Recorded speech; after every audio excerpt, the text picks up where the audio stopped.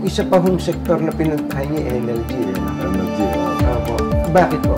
Kasi ang energy, ang yun ang makina ng economy. Hmm. Gasolina, electricity, sama na rin ang tubig doon. No? Gusto niyo bang mabasag ang franchise ng Meralco?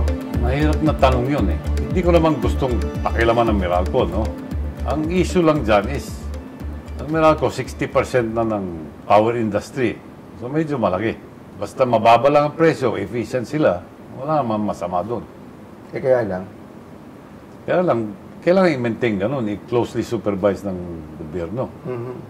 Pero if given uh, the chance, uh, at kasi merong issue ngayon sa Meralco eh. Mhm. Ang issue sa Meralco, merong ano ba, 200 billion yata yung Ah, overbilling. Yung overbilling. Overbilling. Oo. ah, at ah, may narinig po ako sa sa House of Representatives, mukhang direksyon, eh, biyakin po yung yung Meralco. Yung Nasa kanila yan eh. Pero kung ginawa nila yun, maraming magiging interested dyan. Kayo po, Ako siguro isa na rin doon. no? Mhm.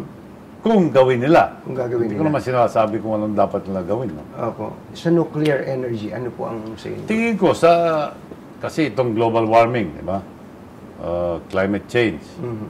Ang nuclear talaga lang ang steady na at pinakamalinis na baseload. Opo. Yung solar, wind, magaganda yun, pero lahat yun may, may issues eh. Opo.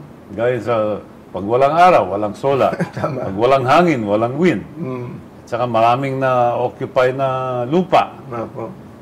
Yung nuclear, 24 hours yan, stable, mababa ang presyo. Tumatagal na ngayong 60 years ang nuclear plant. Opo. 50 to 60 years. Pero hindi magagawa yan kundi gobyerno. Gobyerno lang makakagawa niyan. Opo. Sa laki ng investment. Pero ang, ilan lang ang ilan ang ang casualties ng nuclear plant accident.